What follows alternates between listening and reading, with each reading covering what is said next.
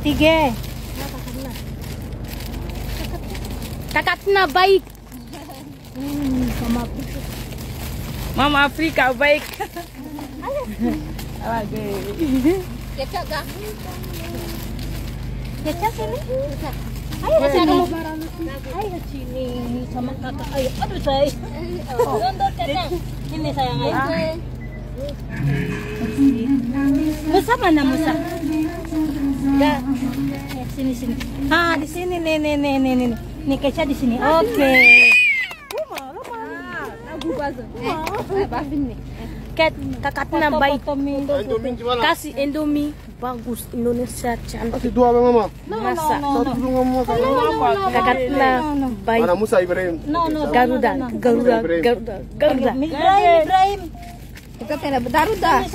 Terima kasih kakak Tina. Terima kasih Garuda. kakak Tina. Garuda, Garuda, Garuda. Garuda. Terima kasih Mama Kakak Dina, cantik.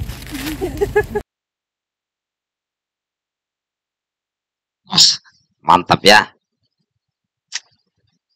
Inilah viral video ada sekelompok warga Afrika Tengah bisa berbahasa Indonesia. Di sana ada Satgas Garuda ya, Satgas Garuda dari TNI maupun Polri. Nah, kebetulan di sini yang di video ini kalau tidak salah ini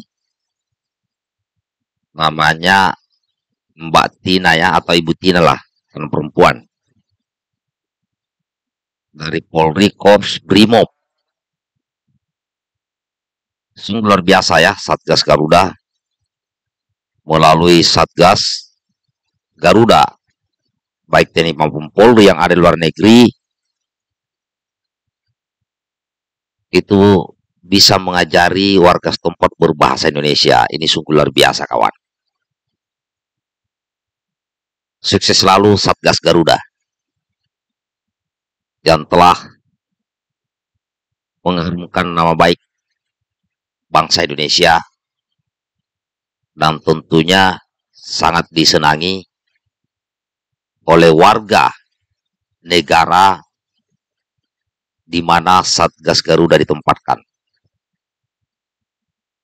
Ya, baik yang ada di sekarang di Afrika Tengah maupun yang mungkin ada di Sudan, ada di